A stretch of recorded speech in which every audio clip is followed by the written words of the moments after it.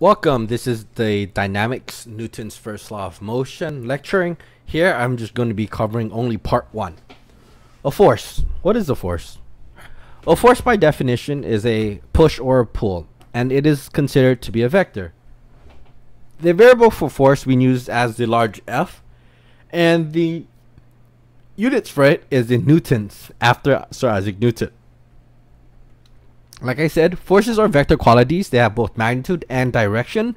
And your vector addition and subtraction does apply here. Forces will always involve two objects. To distinguish the two entities, one is going to be called the object and the other one is called the agent. In this problem, the object is the entity that pushes or pulls by the agent. In this example, the object the object would be the cart because it is being pushed by the person. That person would be considered the agent. It is the entity that is doing the pushing or the pulling that is causing the object to to experience some form of motion. In this problem, it is the person. The watermelon that is in the cart is um, I is not the object nor the agent. Okay, it is in the cart, but it doesn't really do anything because the woman is not pushing the watermelon. She's pushing the cart. Okay? There are two major types of forces that we talk about in this class. Um, contact forces are when you physically touch the object. Things like the applied force, the spring force, the frictional force, and the normal force. The drag force you will experience and you are in contact with. Um, in in the air, but you won't have a lot of questions on drag. Your long range forces are forces that act over a uh, a distance.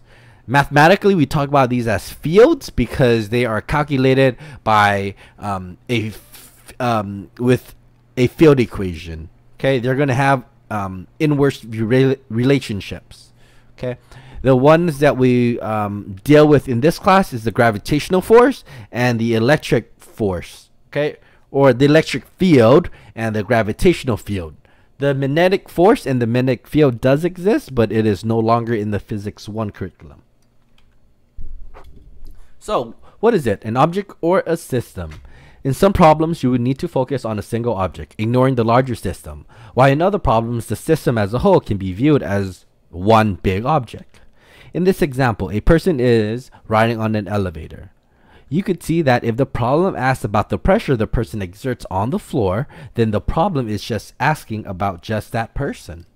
So, the object at interest would just be that one person. You could ignore the outside stuff. However, if the problem asks how much stress is in this cable right here, then we need to realize that the person is adding weight to the elevator, therefore adding stress onto the cable. So we would look at the system at that point. So here the object is the system. It makes up both the elevator and the person together. External versus internal forces. When you analyze a system containing two or more forces, they can be categorized as either an external or internal force. Your internal forces act on the system as a whole, so it would look something like this right? It's acting on the system. So things like are, are acting on the system would be gravity. And your next one would be your internal forces or the forces that act um, between the system, inside the system. So here, um, something like the um, the person is acting force on the elevator, things like that. That would be your internal forces. So here's an example. The tension. The tension in the cable acts as an external force because it is pulling. So force of tension is going to be your external force. And then your normal force, which is just the person pushing up, force normal, would be your internal force. Okay? Because it is caused uh, from the um, person on the inside. There's going to be a difference. Mass. In chemistry, you see um, mass as just what the object has, but in physics, we talk about it in terms of inertia. Inertia is a property of mass, uh, also a quality of ma uh, matter. But very importantly, mass is associated with this word of inertia. So what is inertia? Inertia in its simplest form is the tendency of an object to continue doing what it's doing. Okay, so it deals with this idea of um, change. Okay, and how to, all right, the likelihood, likelihood, right, to change. Okay, that's from a StatMech point of view, which is statistical physics. That's the best way of thinking about inertia. So an object keeps station um, an um, inertia states that it keeps an object stationary if the object is already stationary. So if it's um, at rest, it's going to stay at rest. Okay, it's not going to change states. But if the object is moving at a constant velocity, it's going to stay moving. Okay, how likely is that going to happen?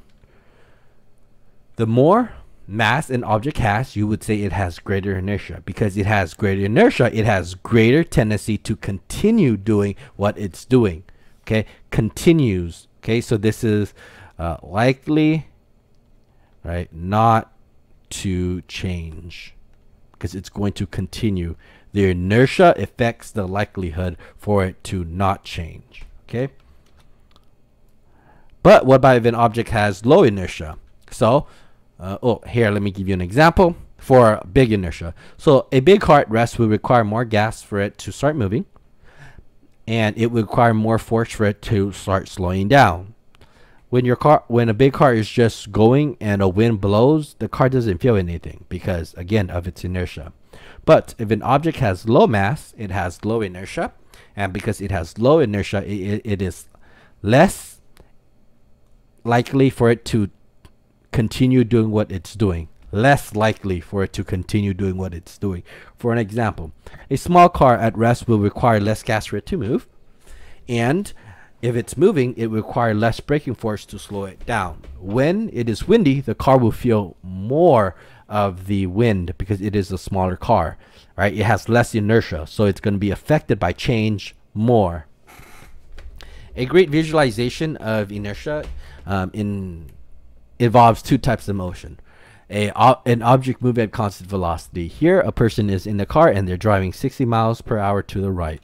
It hits a block. You notice that the car stops, but right, the car stops because now it is um, at rest. But the um, the speed of the person continues because there's nothing holding the person. So the person flies until it hits the ground at 60 miles per hour. This is the reason why you should wear a seatbelt because of the law of inertia.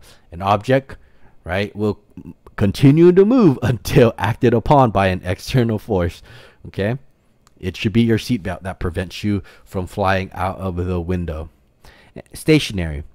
Okay, an object at rest this can be actually be seen as a specific case of constant velocity. So a equals to zero. Okay. Uh, the best example you could see is that if you put a coin on top of a cup of water and you pull it straight away, you will see that the coin drops. The reason why the coin drops is because the coin here is at rest.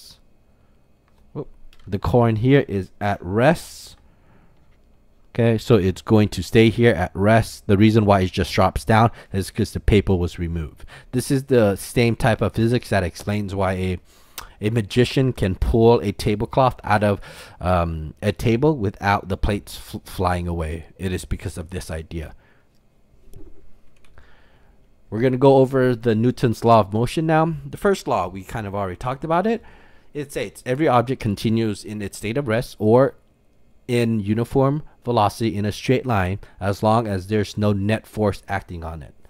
Please understand that the word absence of unbalanced force, balanced force, or no net force are the same thing. Newton's first law does actually does not hold in every reference frame. It only holds in um, the inertial reference frame. So for an example, if your reference frame is actually inside a car, an object such as a cup resting on the dashboard more may begin to move. Magically you're like why is the cup moving towards me? There's no force acting on it if you're inside the car okay? But if you look from outside the car it would look differently okay? So The cup broke Newton's first law of motion because the object should stay at rest until acted upon by an external force. But again, if you look at it from someone outside of the street, you could see that oh, the car um, breaks down, right? So there was an external force acting, an external force acting on the cup. That's the reason why the cup starts sliding. So it depends on your reference frame and your point of view. Okay? And if you take the reference frame as to be planet Earth, you should be perfectly fine. Here are three questions that help you understand the law of inertia a little bit better. Question number one If a rocket of a spaceship is in outer space, far from gravity, suddenly loses power and goes off, the spaceship will gradually slow to a stop. That answer would be false. An object that is in motion, okay, like the spaceship, will continue to be um, in motion until acted upon by an external force. Because space is more or less empty, there's nothing going to be slowing down the spaceship, even if it loses power. So if it, if it, it was going, it would continue going. Two, you are on a train traveling on a horizontal track and notice that a piece of luggage starts to slide towards you. From this observation, you can conclude that the train is what? It would be slowing down. The reason why it is slowing down, let me show you the train. Okay. The train is going forward. Here's the piece of luggage, right? The train slows down, so the acceleration is going to be this way but the luggage is right here so it's gonna go what it slides to the left so it's gonna slow down part three you are standing in a moving bus facing forward when you suddenly slide as the bus comes to an immediate stop what forces causes you to slide forward again there's no force causing you to slide um, forward okay it is just a result of an external force on the car right? But you were already moving. Okay. Newton's second law. This law is an object uh, of mass m will undergo an acceleration of a when subject to a net force.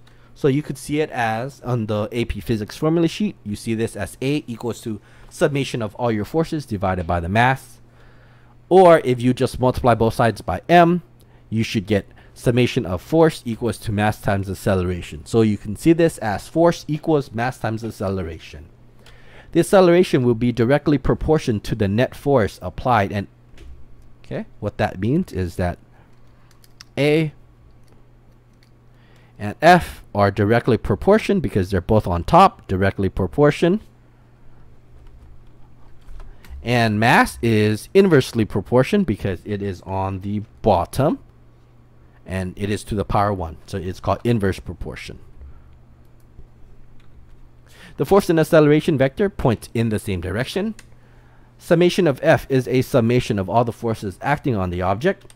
Please understand that the acceleration is not due to any one force but but is due to a summation of all the forces. This is why this is a considered a summation right here. This is of all the forces right here. So the unit for force, um, it is just considered newtons. Newtons is defined, the mass needs to be in kilograms, and the acceleration is in meters per second squared. Okay, please understand you cannot use miles per hour. Okay, that's a velocity. It has to be meters per second squared. It has to be an acceleration. Some proportionality that we can look at about how things change when we set up the equation of A equals to summation of your forces divided by your mass. If the mass increases, the acceleration will decrease because mass is in the bottom of the fraction. It is in the denominator. If mass decreases, then the acceleration will increase because again, mass is on the bottom of the is on the bottom of the fraction. As the bottom of the fraction goes smaller, the number overall goes higher. Okay? If the amount of force increases, the acceleration will increase because they're directly proportional. And if the amount of force decreases, then the acceleration will also decrease. Again, A and F, summation of all your forces, are directly proportion So if one goes up, the other one's going to go up. If one goes down, the other one's going to go down. Okay? Mass and acceleration, this is inverse proportion. Okay? If one goes down, the other one's going to go up. Okay? Or if one goes up, the other one has to go down. That's what it means to inverse be inversely proportioned. One of the misnomers is this idea of weight. Weight is a considered to be a force. So mass and weight are not the same thing. When you step on a scale, you're like 100 pounds, 200 pounds. That is actually a force. It's not your mass. Pounds is actually a force, not a mass. Mass is just straight kilograms. Mass is a property of an object by itself, and it is referred to the object's inertia. Weight, on the other hand, is a force. It is by the pull of gravity acting on the object. Any object inside a gravitational field will experience the force of weight. It is from the mass being pulled by another mass. That is the gravitational field. So the example to best understand the difference between weight and force is this. If you were um, if you were taken to the moon, you will weigh only one sixth as much as you did on Earth. So if you weigh um, a hundred pounds on Earth, and on Mars, no, on the moon, you would weigh one sixth of this. So I do not know what's a hundred times one sixth. Hold on. So you would weigh 16 pounds. Okay, because again, the gravitational um, field is lower there. The force of gravity is lower there. But please understand that your mass did not change. You're still you. Nothing changed except your location. That is the best way you can think about um, the force of gravity, weight, and mass. Lastly, Newton's third law. Newton's third law can be seen as for every action, considered the action force, there's an equal and, uh, and opposite reaction. That is called the reaction force. Please understand that these aren't real names, action force and reaction force. It's just associated with um, the first thing and the result thing. Okay? Understand that the magnitude of the action and reaction forces are equal. So if one is 50 newtons, the other one also has to be 50 newtons. The direction of the action and reaction forces are opposite. So let me show you. Let's say the force um, the hand exerted the force exerted on the hand by the desk. So here, let's say this is 50 newtons this way. This also has to be 50 newtons this way. But one of them is in the opposite direction, so it has to be negative. A way that you can see this is that this, a person is walking on the floor. The person's foot force of the person on the ground on the person's foot. So here you could say that this is the um, action and this is going to be the re, um, reaction. So this is the resulting force. So the force of the ground on the person's foot is the same thing as the force of the person's foot on the ground. Notice I just flip the noun. Although that the um, although that the forces are equal, the accelerations are not the same. The reason why the accelerations are not the same is because the masses are the same uh, are different. The mass the mass of the hand here is different from the mass of the table. So if the mass of this hand is only let's say 10 kilograms but the table is let's say um, 25 kilograms oh the hand is be less the hand should be like 2 kilograms and the table is like 25 kilograms if you plug this in okay right here f equals to ma you will see that force is 50 newtons, the mass is 2, the acceleration is a. So a here would be equal to 25. So this hand would be experiencing an acceleration of 25 meters per second squared. But if you look at the table, F is equal to ma, the force is 50, the mass is 25, the acceleration is a. Divide by 25, you see that acceleration is 2 meters per second. Okay, notice that the acceleration is different for it, even though that the seller, even though the forces are the same. Okay, this is what this video was for. Now we could look at some conceptual questions. In a collision between a huge SUV and a small hybrid car, the SUV exerts a large force on the hybrid than the hybrid exerts on the SUV. What is that? That is considered to be false. Okay? The SUV on the hybrid is the same thing as the hybrid on the SUV, Newton's third law. 9. If a pound if you pound a feather with a hammer, which one feels a greater force? Again, the size of the force is actually going to be the same because of Newton's third law. 10. You're pushing box G. Let me draw the person here so you could get a better visualization of who's pushing it. Here's the person. He pushes on box J, causing both boxes to slide on the on the floor as shown in the figure. The reaction force to your push is what? So just look at it. The force of U, so let me write um, U for Y, U, on box G is going to be equal to the force of the G box on U. There you go. So remember, you just flip the nouns. All right. There you go. That is Newton's third law and everything that you need to know about Newton's law of motion, part one.